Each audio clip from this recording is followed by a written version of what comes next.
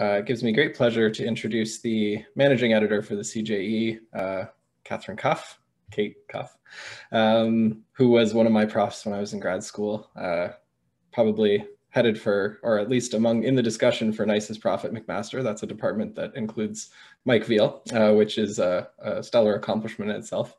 Uh, so you all know Kate, uh, first-rate scholar, and we thank her for her service to the journal. And I'm going to give her a few minutes to welcome you all to the session.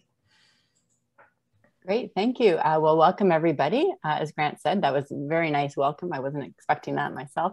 Uh, I wanted to uh, actually, uh, on behalf of the journal, welcome all of you to this first joint webinar between the Canadian Research Data Center Network and the Canadian Journal of Economics. I'm uh, actually super excited to be here this afternoon with you, and I hope that this is going to be the first of many such webinars. So what I'd like to do, of course, is give a big thank you to the team at CRDCN for undertaking the organization of the webinar, and in particular, uh, Joanne Provençal, Perry Abdullah, and of course, Grant Gibson, who is going to be hosting uh, today's uh, session. So thank you as well to our two authors for both contributing to our special issue on COVID-19, and this special issue will be coming out later this fall. As well, uh, thank to both of them for taking the time to tell us about their papers. Um, and finally, a big thank you to all of you who are attending uh, today's webinar.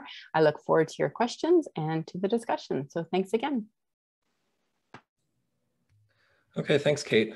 Uh, so our first uh, presenter today is uh, Pierre-Loup Beauregard. Uh, he is a PhD candidate at uh, British UBC, um, and he's working on a paper on primary school reopenings. So take it away, Pierre-Loup. All right, thank you, Grant. Thank you, Kate. Uh, start. I can't share my screen.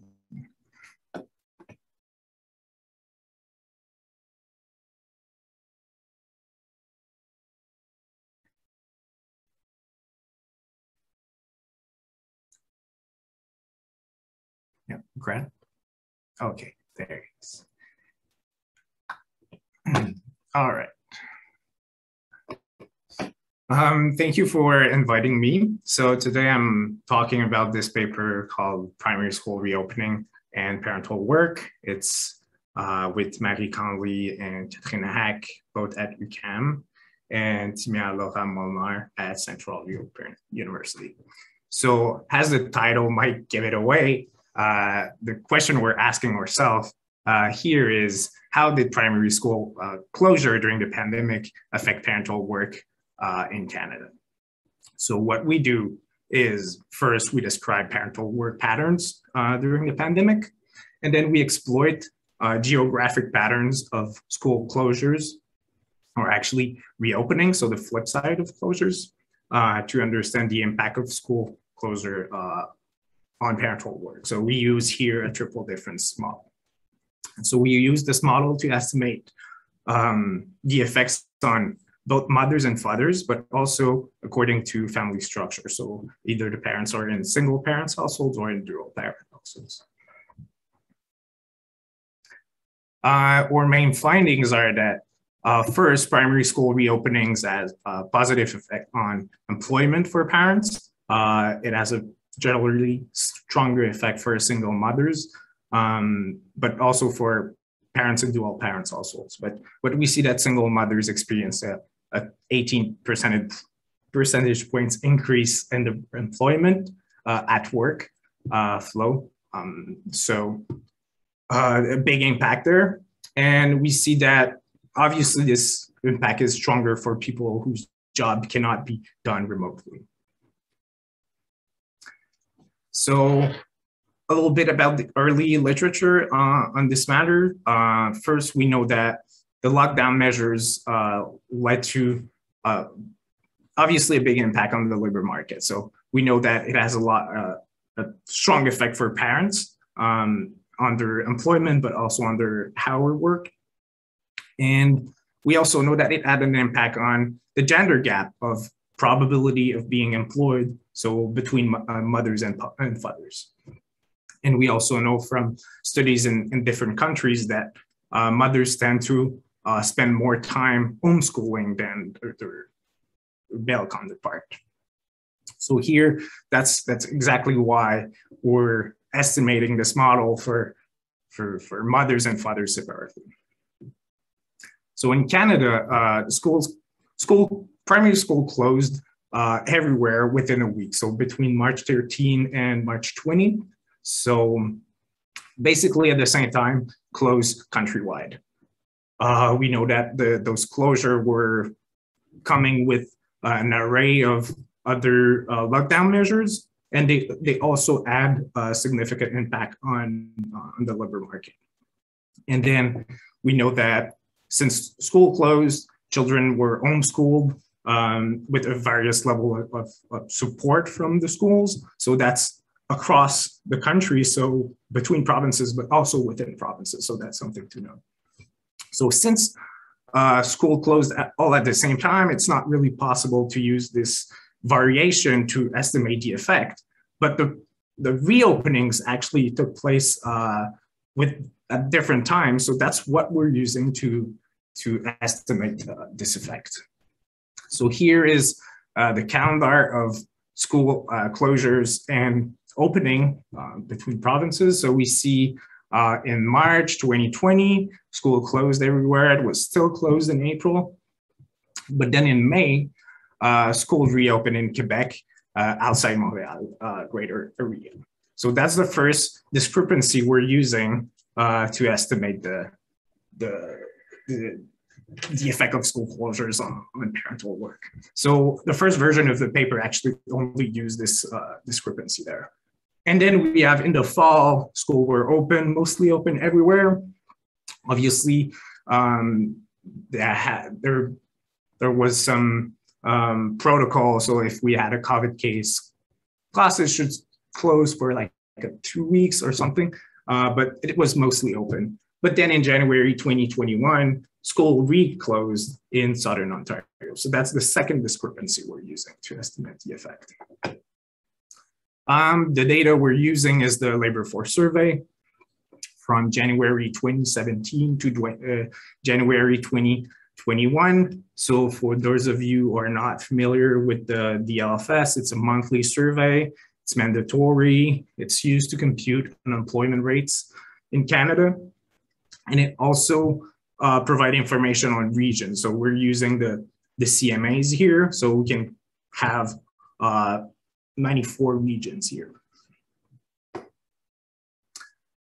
And in our sample, we're using, we're have, we have two groups actually. So we're keeping all parents of uh, 20 year old of age to 55. Um, and the two groups we have is parents of primary school children. So children aged uh, from six to 12 and high school children. So age 13 to 17. And we exclude households that have both primary school and secondary school uh, children. Um, we use all months except the summer months, so June, July, and August. And then we run a bunch of tests to, uh, to validate uh, those choices. So if we look at our two groups, uh, they're very similar. The main difference is obviously the age. Parents of older children tend to be older, uh, which makes sense. Uh, and they're also a little bit more in, in single parents also. So if we look here, but other than that, the two groups are very similar.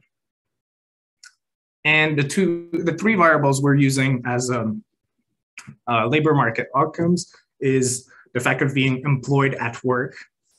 So when I say at work, it's not physically at work, it's actually working, so it can be remotely. And uh, being employed, so but not necessarily working. So it's e only having an employment link with an employer. And then we use actual hour worked uh, during the week. So again, two groups are very similar. Um, so it's a good indication that we have a good uh, control group. Now, uh, looking at this figure, it, it, seems a little dense. So uh, I'll try to be clear here. So this is uh, the employment rate at work of parents. Um, according to the, three, to the three regions we're looking at. So here we see it's fairly similar. And then here's the pandemic that hurt, hits. So we said big drop, And in the red markers here are for the month of May and here for the month of January 2021. So here we see a big drop, but what we're really interested in is what happened in the next month. So here, if we look at Quebec outside Montreal, schools reopen and we see this big jump here. And uh, so it almost got back to the previous levels. So this is for fathers and dual parents also, but we see similar stuff for uh, mothers here. So here again, a big jump here when the other region, they, they, they got back a little bit, but it's still uh, fairly low. And we, if we look at single parents, while here the standard deviation are quite big because of the uh, reduced number of observation, but we see similar patterns. So here, uh, the, the, diamond here of Quebec goes back here. Um, and for mothers, it's not as clear. And for the month of January, when school were closed in Southern Ontario, the effect is not as clear, and we'll see that in the, the, the estimation results. So our approach, as I said, is a triple difference model. So here Y is our labor market outcomes.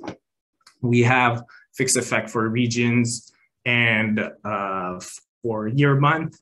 Uh, and we have a bunch of socioeconomic variables to control. And we also have fixed effect for uh, the occupation of the parents and their industry. But the coefficient we're really looking at is this triple difference coefficient here. So this is when schools are open in Quebec in May and they're closed everywhere else.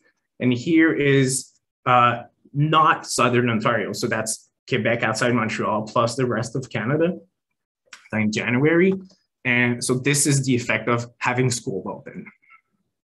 So if we look at our main results first, here we see uh, for, for fathers, it's not significant. So there are basically no effects uh, on, on, father uh, labor market outcomes, uh, nor for mothers and dual parents also. So we see that the only uh, significant coefficients are for single mothers. Uh, so we see a 18.1 percentage point increase here. Uh, that's being employed at work. Uh, a little less for being employed, uh, no regards on working or not. And we see a, a good effect on actual hour work. So 7.6 hours uh, for the reference week. Um, but we go further. So here uh, we actually decompose the effect for only the month of May and only the month of January. And we see that actually for the month of May, there's an effect for mothers in dual parents households as well as fathers in dual parents households. So uh, a nine percentage point here, 9.8 percentage point increase here. So it actually had an effect on, on parents and dual parents households. But we, if we look at the month of January, there's basically no effects for those groups. And what we think happens here is um, in May, uh, parents didn't have time to uh, deal with this, or uh, also school were supposed to be closed for the rest of the school year. So uh, it had a big impact. Um, but in January, when it closed, uh, it was supposed to be only one month. So the parents didn't really adapt to the closures. So that's that's what we think is going on here. Uh, now, if we look at uh, the results according to the ability to work from home, we see something interesting. So as we would expect, uh, if we look at job uh, can be done remotely, there's not much effect. So no effects in, in January, weird negative effect in, in January, um, but basically no effects for parents whose job can be done remotely. The real problem is parents who have jobs that cannot be done remotely. So uh, here we see that for mothers, big impact, also for fathers and dual parents households. So in May to work, uh, so that that's that's good, uh, right? Um, and for mothers, there's still a, a, big impact even in the month of January. So even though they they adapt, they, they simply can't uh, stay home and and and work at the same time. So obviously, uh, school reopening had good effects for them.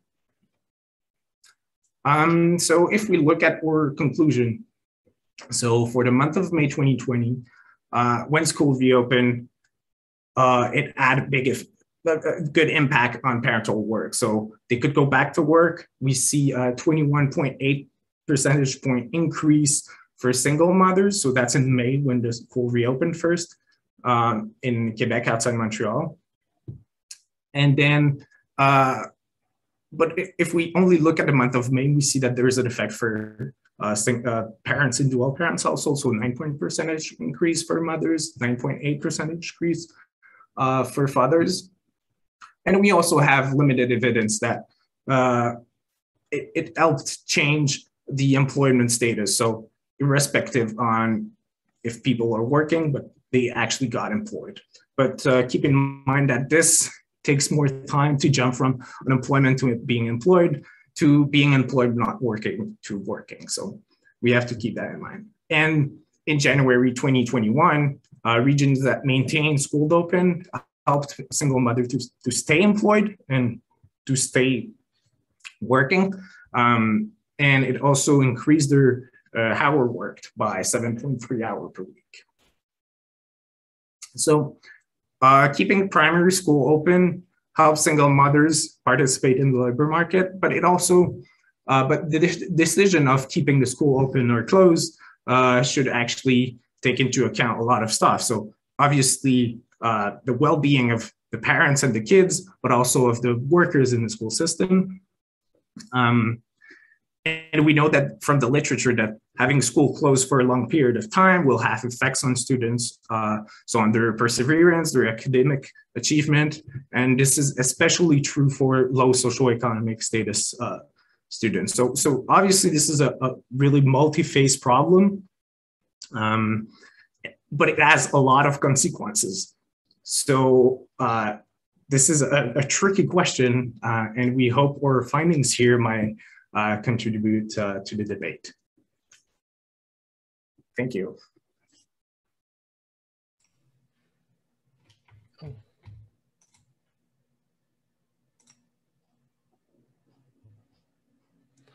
Okay, so somebody uh, told me that the Q&A button is not activated. Um, cannot be clicked. That's interesting. Okay, so other people are saying it's working. So if there's uh, questions for Pierre-Loup, um, okay, everyone's saying it's working. It's just uh, uh, one person who said it couldn't. So hopefully it's working for you now. Um, so Pierre-Loup will take anyone's uh, questions for, uh, I guess, five minutes until, uh, until it's time for Derek to present. Thank you, Pierre-Loup and team for documenting um, documenting this this effect of, of policy. Can I just jump in with a question while we wait? Yeah, someone? go for it. Um, so Pierre-Loup, oh, and one thing I just, if you could just sort of explain, so the idea is taking this control group of the of the families that have the high school kids, you're then controlling for the fact that with a school closure, of course, there's limited employment opportunities, right? So if the hair salon that I work at closes at the same time, then that's accounted for in that respect. Is that right? Yeah, exactly. So uh, so we argued that the primary school parents, uh, pr primary school children's parents, and um, high school children's parents are living the same others um, measure, health measures. So that that's what because when school reopened, for instance, in Quebec in May, uh, it was also uh, with an array of modif modification of the measures. So if we control for another similar group, uh, then, then we kind of take this into account. So we, we think we really isolate the effect of just the, the, the primary school reopening, because keep in mind that the high school did not reopen Canada-wide. Right. So I guess you could also, I mean, in future work, take advantage of the fact that in Ontario, of course, we we went back in person and then we closed again and then we went back in person. so you could actually no we didn't go back in person. We just never went back. Uh, but do you think you'd find similar results if you were to, to look at that as well? So uh, so you mean if we kept more month uh, after January, so like February, okay. Um, so what we see here is the effect for January is not that strong, and that, that we think this is because uh, parents could adapt uh, after almost uh, almost a year. Then, um, so I'm not sure if we would see as strong effect, um, but but we think we would still have these uh, those high like great effects for single mothers. Thank you. I, I, see you have a question, so I'll let Grant take over. Yeah, no problem. Uh, so, Pierre-Loup, there's a request to go back to your uh, uh, statistical model and explain your identification strategy again. So yeah, here we're using a, um, a triple difference uh, model. So the first difference is uh, in time, and the first like difference of difference model is in time and geographically. So uh, in May in Quebec, school reopened. So that's just a basic uh, difference in difference model. And then we had another difference uh, for uh, controlling on the second group, which is uh, high school children parents. So that's the, the P1 equals zero and the P1 equal one. And, and then we have those like interaction terms, but this is really what we're looking for here is the effect of this is school being open in Quebec in May and closed everywhere. And this is the effect of uh, school being open everywhere in January except Southern Ontario. Does that answer your question?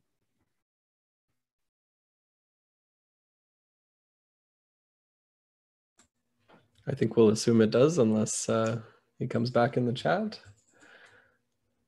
Yes, thank you. Great. Okay. Is there anything else for uh, Pierre-Loup? Is it a monthly difference or yearly? So the coefficient on May refers to May relative to April or relative to May in 2019? Uh, it's relative to, uh, so since we have this uh, year month effect, so it's more, would be, I mean, it's more an employment level uh, overall. So if we look at, uh, so it, would be compared to the province, usually the province at, uh, in a year month fixed effect. So it, it, it's an absolute difference, if I could say. Okay, thank you.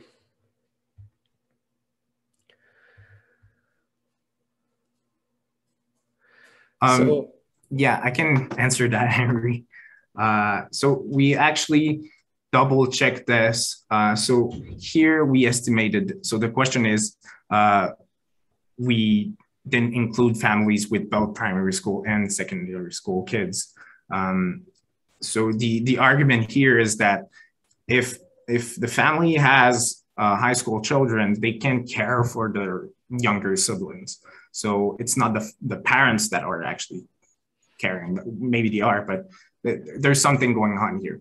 But we did a check with uh, if we include uh, those families. So here um, we see that this effect is, so this is only for mothers, but the effect is still strong for single mothers, uh, but basically no effects for, for mothers and, and, and dual parents also. So similar to what we had if we did not include those families.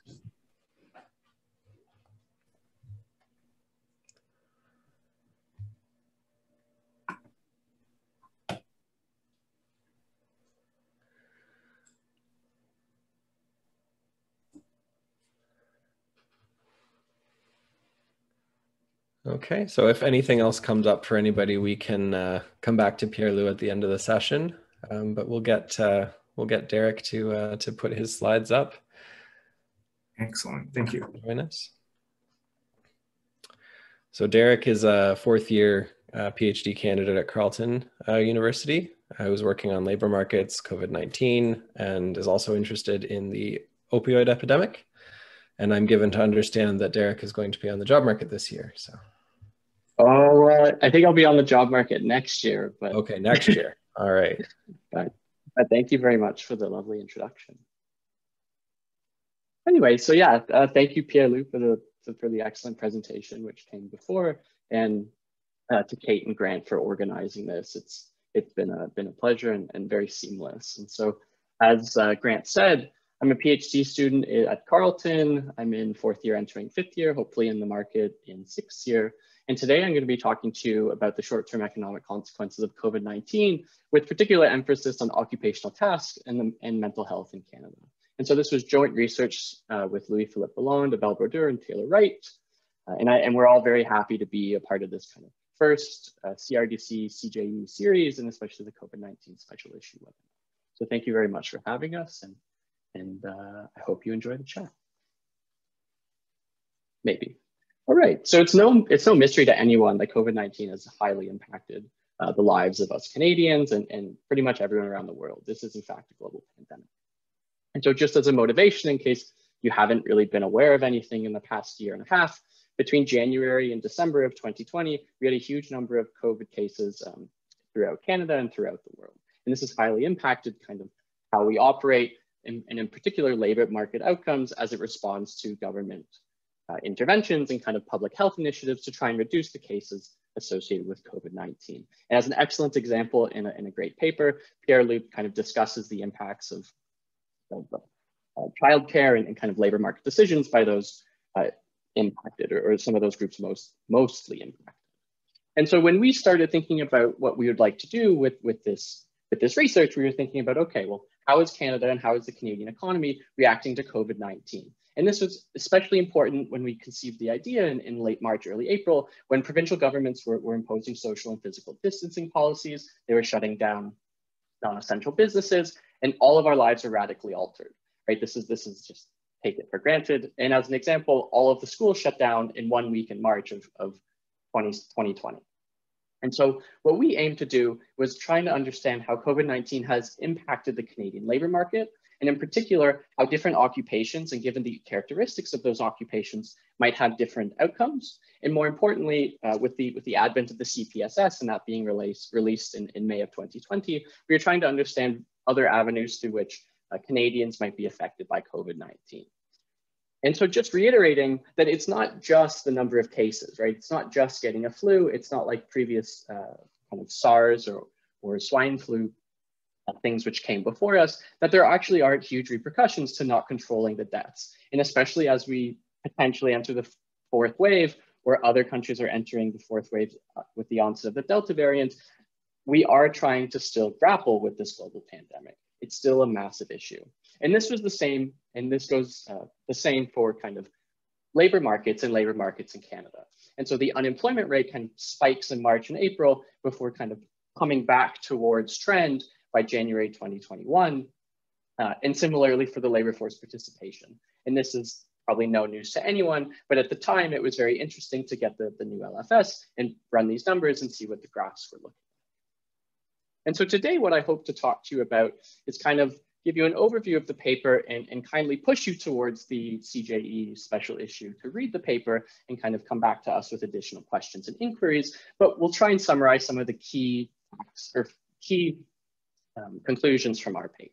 And so we, of course, we, we, we characterize the increase in unemployment and the in labor force participation rate. We, we take a stab at actual hours worked and real hourly wages as well. But most importantly, our contribution is trying to use the variation in characteristics of occupations to, to understand labor market outcomes. And so for example, one of our indexes working in close proximity to others led to worse labor market outcomes. While those who could transition, transition to work from home or telework or those who are considered critical or essential workers, or those who are more likely to work in medical professionals, professions, sorry, had smaller impacts on their labor markets, right? And so we're talking about the differential uh, for an occupation. And so while all of the labor, all labor markets kind of got worse, some did worse and some did better. And that's a key part of, of this paper. Now, at the same time, at the end of this, we, we try and understand different avenues. And so one example, and using the CPSS, we could investigate kind of correlations between mental health and how it affects some workers, and especially uh, today, I'll show you women were, were impacted more, at least at, at, through a correlation. Uh, moreover, those absent from work due to COVID are more concerned with meeting financial obligations and keeping their jobs. And so all we were trying to do was characterize the, the initial kind of how is it impacting us what, what variation can we use? Perhaps we can use variation occupations at the onset of COVID. And then how are other avenues to which uh, COVID is affecting Canadians? Um, and so if you'll excuse me, we'll just jump right into the data sources and, and ignore the literature. It is a 15 minute talk. And thankfully for me, Pierre-Luc did an excellent job describing the Canadian Labour Force Survey. And we're gonna be using approximately the same, time period. So January 2016 to December 2020. When we talk about our indexes, we're actually gonna use January 2017 to December 2020. Um, and we're gonna use that, that LFS data with various index data from ONET, um, from the Labor Market Information Institute, so that should be LMI, apologies, and Dingel and Neiman's Journal of Public uh, Economics Work from Home Index, which is readily available online.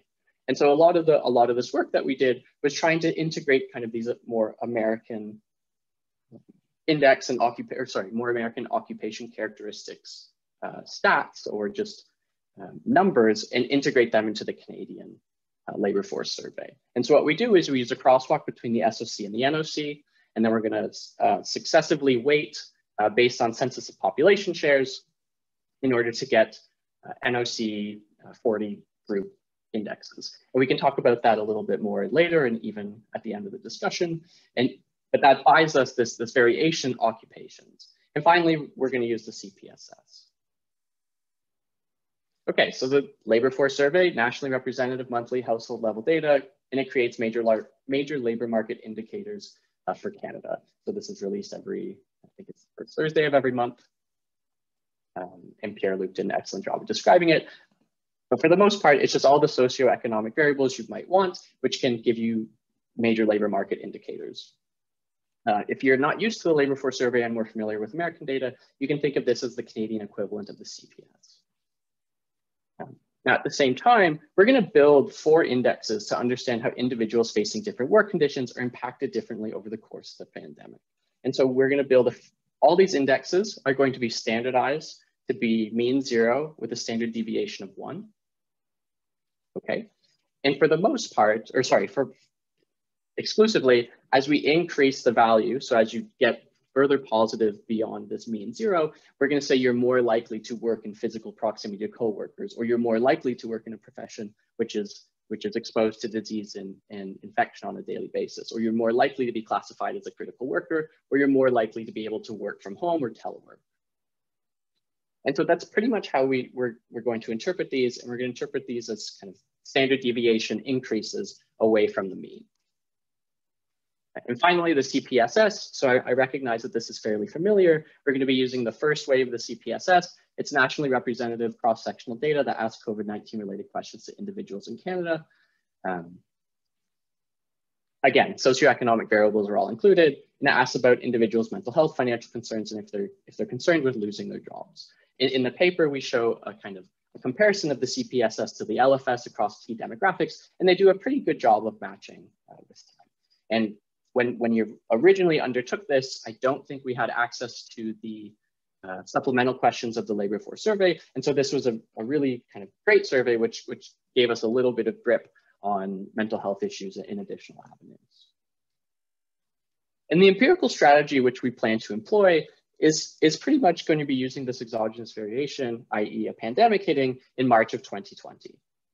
And we're going to assume that between March 2020 and December 2020, uh, the pandemic is, is on, right? So this will be an indicator variable. So if you're in the labor force survey within March um, uh, through December 2020, you will be considered like within the pandemic. And we're going to be using this uh, just to do very basic before and after regressions. And then we're going to interact the indexes, which we construct with this before and after indicator. And this will give us kind of the differential impact based on occupations uh, before finally getting to some cross-sectional analysis. So these would just be correlations using the, uh, the CPSS as a cross-section. Okay, so the model for the before and after is pretty simple. Uh, the coefficient of interest would be this beta associated with a variable post-COVID, excuse me, which takes on an indicator equal to one between March and December 2020 and zero for all preceding months. Um, time range January 2016 to December 2020. We're gonna have, we're gonna have a whole bunch of socio-demographic uh, other other regressors just to control for individuals' age group, gender, marital status, and education level, and a handful of provincial and time fixed effects. So it's a pretty, it's a very simple idea kind of to wet your palate for what will be uh, the very obvious worsening of the Canadian labor market. And so as we see in columns three, or in column three, sorry, we see this increase in the unemployment rate of about 0.5 relative to the pre-COVID mean of 0.66. So this means almost a doubling of the unemployment rate during the COVID-19 period. and this is fairly robust to the other two columns with, with all of our, sorry, with all of our controls. Uh, so this, the story is very similar for the labor force participation rate, robust across all of these, uh, all of these specifications. And, and we see a decrease in the labor force participation rate by about 2% relative to a, a 77% pre-COVID labor force participation. Um, and now what we're going to do is we're going to interact those indexes, which are mean zero and standard deviation one, with this before and after indicator variable. And so as you can see, the post-COVID variable um, stays about the same, so about 0.05, so an increase of about 0.05 in the unemployment rate. In labor force participation, a decrease of about 0.2. Uh, but more importantly, when we interact and focusing only on the bottom four rows, when we interact with our, um, our indexes, we see uh, different occupations or different care or people in occupations with varying characteristics of indexes have different um, have different uh, outcomes, right? And so if we if we think specifically about post post COVID and physical proximity, if you're in a in an occupation where you have a, a one standard deviation above the mean for physical proximity index, you're going to have about an increase in your unemployment rate of about two percent right? And so this is actually quite large, right? So this is going from about 10 or 11 to about 12 or 13. And so if you're working in something like retail sales or you're at a brick and mortar where you're interacting with people quite, quite a lot, you're more likely to have this high physical proximity measure or this high physical proximity index, and you're also more likely to be unemployed. And the intuition follows for labor force participation. You're less likely to participate in the labor force if you're in, a, a in, a, in an occupation which has um, which, which are more likely to be interacting with people in close proximity. Similarly, if you work in a profession more likely to be exposed to disease and infection, your unemployment rate uh, gets slightly better, but you're still dwarfed by the general post-COVID average. Um, same with critical workers. So if you're a critical or essential worker, it's not quite so bad. And same if you're able to work from home or telework. And the intuition follows for your labor force participation, where it's all dwarfed by the post-COVID average, but some professions can do better to weather this storm. And so that's a big part of, of our story is saying that no, some occupations are, are more highly impacted than others, and those which which those which uh, were less impact were less impacted maybe still did poorly, but were easier easier to do well in. Finally, we're going to talk about the cross-sectional analysis using the CPSS data, and this is just a snippet of from what we did with respect to the CPS, CPSS. Uh, but so we, we take perceived mental health in an ordered probit model, and we give you the estimated coefficients. So these are not marginal effects. And we can focus your attention to those who are just the whole sample. And we see females are, are less likely to have good mental health. And so the mental health numbers is a value of one for poor all the way up to five for excellent. And so negative values in this case suggest that relative to men, females have worse uh, perceived mental health. And so, so, that's one of our findings. Uh, as well, married in common law relative to people who might be single uh, typically have better perceived mental health at the time of COVID. Um, for those who have high school diploma or equivalent, you have kind of worse mental health and then interestingly, immigrants have slightly better perceived mental health during the time of COVID relative to non-immigrants. And this is interesting. Um, some of those results hold, especially for women across the only the employed subsamples. But we also can use the, L, the CPSS to understand financial concerns or if they're concerned that they might lose a job in the, in the coming, coming weeks. And so for columns one and two, uh, values, lower values imply major impacts. So you're more likely to be impacted or your financial concerns increase if, if, if you have a negative number. And so if you're employed but absent due to COVID, we're seeing you have increased financial impacts. Similarly, uh, for the sample of employed, if your work remains at home, you're more likely to have these financial concerns relative to if, you're, if, you, uh, if your work never changed. And if you're completely absent from work, you also have increased financial concerns. Now with this might lose job variable, Values range from one, I strongly agree that I might lose my job in the next coming next four weeks, versus five, I strongly disagree. And so these negative values indicate that you, you, you feel that you will be losing your job in the upcoming weeks. And so this is a highly statistically significant negative. So they, they strongly agree that they might lose their job in the upcoming weeks. Um, and similarly for those who are absent from work, but interestingly, those who can kind of telework or who change their job from outside of the home towards working from home have less of a concern relative uh, to those who have no change in where they work. And so as, again, this is just me trying to push you towards the paper which is coming out. We have additional results uh, in appendices and, and, and in the main script. So we have figures, event studies, robustness checks, and a little bit of heterogeneity for the CPSS and the LFS, all kind of playing on these themes of, of COVID-19 in the general labor market based on occupations and various avenues. And so to conclude, uh, Canada has been hit by COVID-19 and the labor, mar labor market impacts have been quite substantial. And we kind of quantify this across different occupations. Uh, as we see, uh, the pandemic was, or labor market impacts from the pandemic were more severe for workers uh, that work in close proximity to co-workers, while less effects were less severe for essential workers and workers that can easily work from home. Um, using the CPSS, we see increased mental health concerns for women, less increase for immigrants, while those uh, absent from work and are facing increased financial concerns and are worried about their job security. And so I thank you very much for your time and I look forward to your questions. Right. Okay, so same deal. If the uh, Q&A box isn't working for you, go ahead and just uh, put them in the chat and uh, we'll all be able to, to see them. Thank you, Derek, for, uh, for presenting your work. Thanks. I'm looking for my chat and I cannot.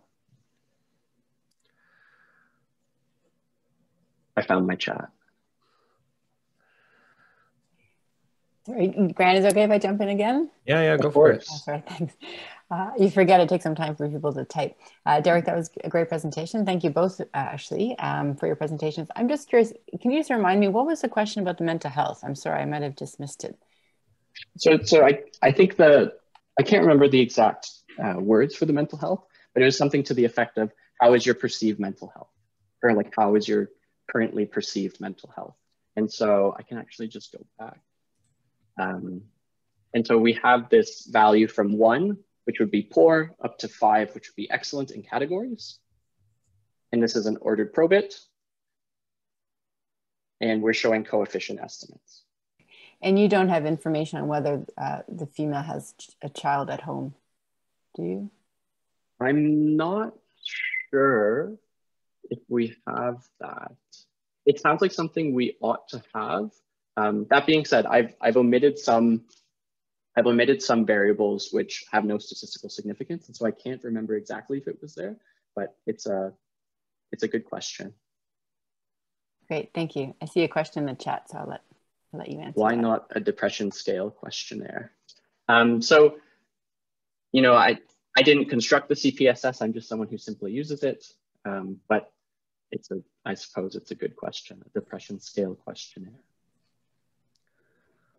So usually StatCan is trying to balance the burden of response with uh, the the need to get data. So I, I, would guess that somebody in the survey construction division just looked at the depression scale questionnaire and, and thought, you know, too many questions. Let's just get a self-rated mental health. And, and that seems reasonable to me, especially it'd be nice because you could do a robustness, right? You could just see if you're picking up the same effects and about the same magnitude. But for, for all extents and purposes, I don't recall there being a depression scale.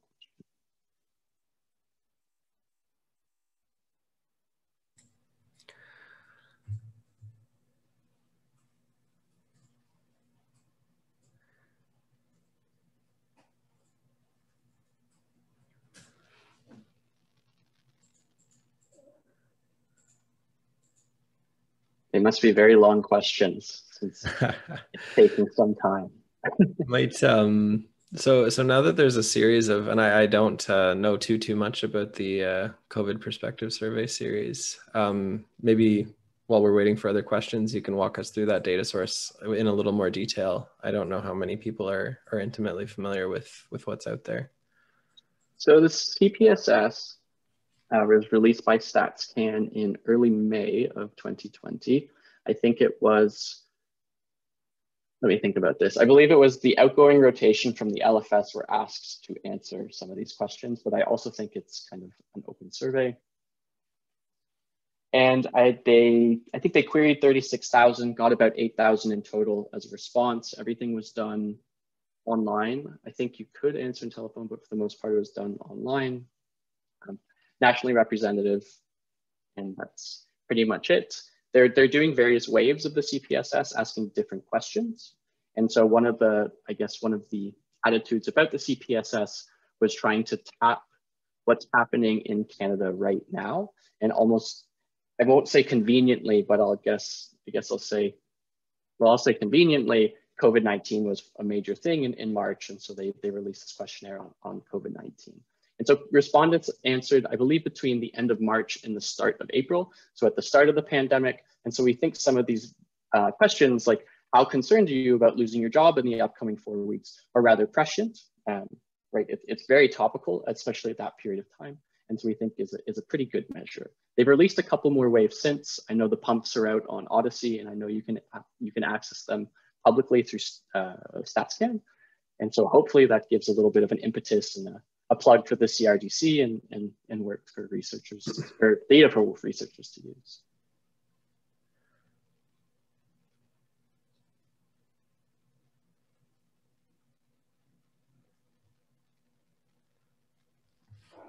So not having seen the specific question, um, you know, in March, I think there was a, a lot more uncertainty around whether you would potentially lose your job or not. I think that that probably settled down. There was probably a lot of variance to the to those estimates. So I, I guess you know, given what you know about the other waves, is it possible to repeat this analysis when people kind of have a better idea of what to expect?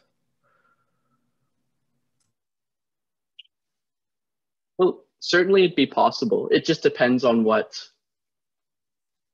It depends on well, like uh, I don't know if it's feasible, but it would certainly be possible. But at the same time, I, I guess there would be less uncertainty surrounding the, the future. And so I would assume that people would respond. And so you might not be able to get as, not exogenous, but as, as uncertain, but perhaps you would get a better answer. No, it's, it's an interesting question. I know this, yeah, that's an interesting question. I'd, I'd have to think about it more, um, but I appreciate it. Okay, so I'm not seeing any other questions for Derek. Um, so before we we go, uh, is there anything else burning that that Pierre-Loup could come back and answer?